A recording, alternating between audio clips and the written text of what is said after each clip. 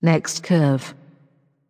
Aloha, everyone. This is Leonard Lee, um, executive analyst at NextCurve, and I am here in Maui for Qualcomm's Snapdragon Summit 2023. And um, I'll be here for the next three days. This is kind of like day zero ish.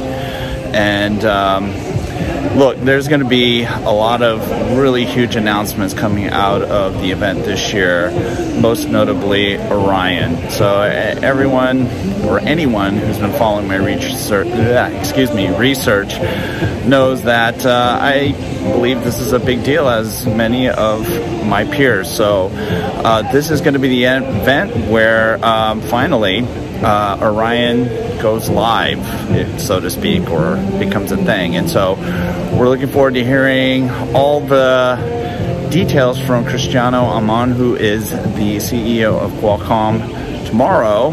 But uh, today, what is day zero about? It's a little bit about chillaxing and enjoying the scenery and the view.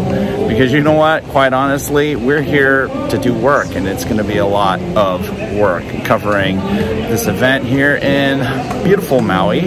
So remember to uh, subscribe, like, all that nice stuff on the YouTube's channel here for Next Curve, and also follow me uh, on LinkedIn as well as at www.next-curve.com and uh, check out the comments below. I'll be posting takes and stuff like that throughout the course of at least day zero. There may may even be a analyst guitar jam, so you won't want to miss out on that. So we will see you reporting live here from Maui.